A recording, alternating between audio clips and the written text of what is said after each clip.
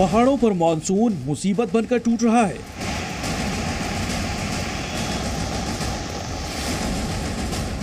बारिश का मौसम बेहिसाब मुश्किल बरसा रहा है।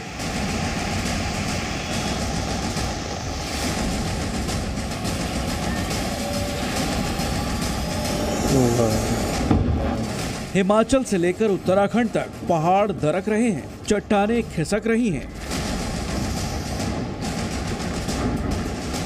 ऊपरी इलाकों पर बादल फटने से आया सैलाब निचले हिस्सों तक तबाही मचा रही है। पूरा पुरोला मोटर मार्ग के नीचे से।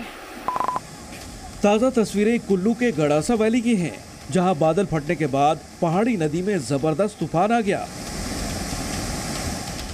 पहाड़ों से उतरी जलधारा तेज रफ्तार में निचले इलाकों तक पहुँची तो उसकी चपेट में जो भी आया सब कुछ तबाह हो गया। नदी ने अपना दायरा तोड़ते हुए आसपास के बड़े हिस्से को अपनी चपेट में ले लिया। जंगल के पेड़ उखड़कर सैलाब में समा गए। लहरों के वेग ने नदी किनारे बने मकानों को भी नहीं बख्शा।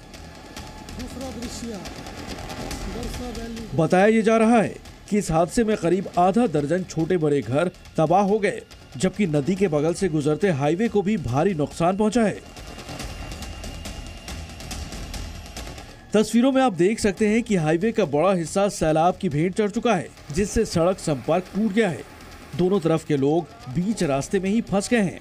के नीचे से ऐसा लग रहा है मानो हिमाचल पर मुसीबत का सिलसिला खत्म होने का नाम नहीं ले रहा। हाल ही में आई बाढ़ की वजह से पिछले 16 दिनों से कुल्लू मनाली नेशनल हाईवे पहले ही बाधित है। कई जगह तो ऐसे हैं कि कुल्लू मनाली हाईवे का नामो निशान तक मिट चुका है। जिसकी वजह से स्थानीय लोगों के साथ ही बाहर से आए सैलानी और यात्रियों को भी काफ़ी दिक्कतें हो रही हैं। हालाँकि नेशनल हाईवे अथॉरिटी की टीम हाईवे के हालात सुधारने में दिन रात एक किए हुए हैं और रास्ते को चालू करने की लगातार कोशिशें जारी हैं।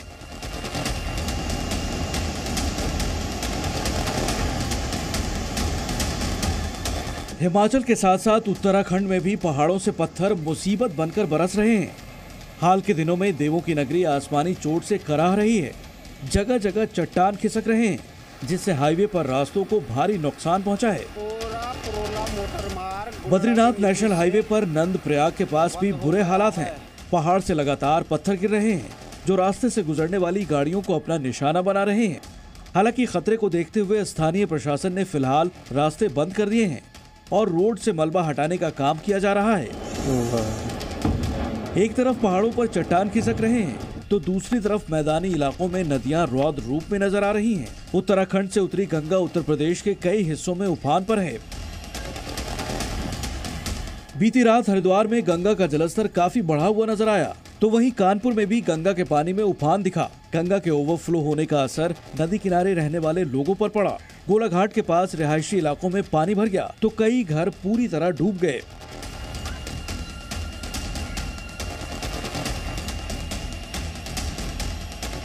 गंगा के साथ साथ यमुना नदी में भी उफान जारी है। दिल्ली के बाद नोएडा और गाजियाबाद के तटीय इलाकों पर भी संकट मंडराने लगा है। नोएडा और गाजियाबाद से बहने वाली हिंडन नदी खतरे के निशान पर पहुँच चुकी है, जिससे हिंडन किनारे रहने वाले सैकड़ों लोगों पर संकट गहराने लगा है।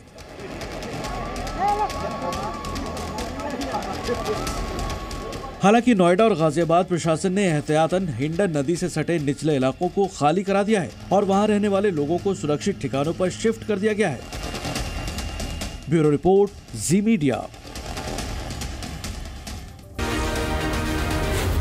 Zee News.